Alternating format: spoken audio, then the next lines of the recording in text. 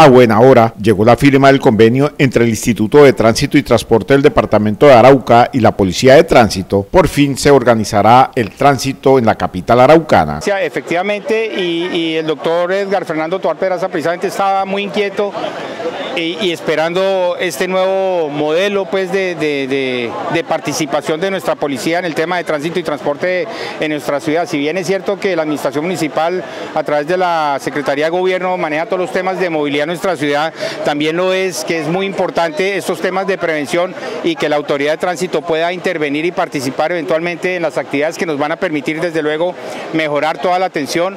y la movilidad en el municipio capital. Eh, desafortunadamente a veces las mismas comunidades no entienden de que no tenemos por qué tener la autoridad de cada cuadra para que nosotros respetemos las normas y las señales de tránsito. El secretario de Gobierno del municipio de Arauca, César Valderrama, invitó a todos los conductores a tener sus documentos al día. De tal suerte que invitamos a todos los araucanos a que andemos en la legalidad, no van a tener ningún problema en la medida en que anden con sus documentos en regla y al día y créanme que para mí sería más satisfactorio que un policía me esté parando cada cuadra para saber que hay una percepción de seguridad y de que estoy actuando conforme a la ley como un buen ciudadano colombiano. El funcionario manifestó que ya no hay excusa que los conductores de los diferentes clases de vehículo no tengan su documentación en regla. No, no, yo creo que no hay ninguna excusa,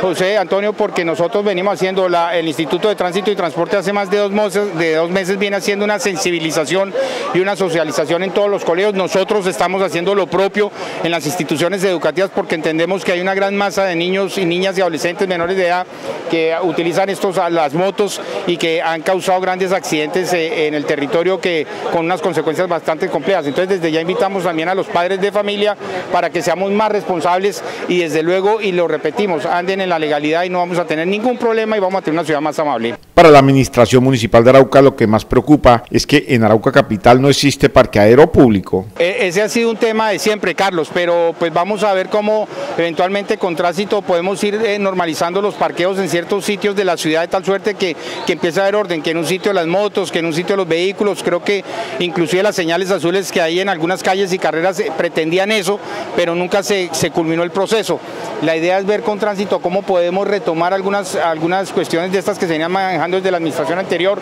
y poder eh, adoptarlas de tal suerte que, que tengamos una percepción mejor de, de, movilidad por las calles de la ciudad de Arauca. También les recomendó a los propietarios de vehículos con placas de Venezuela para que saquen el documento de internación a su automotor ante la Secretaría de Gobierno.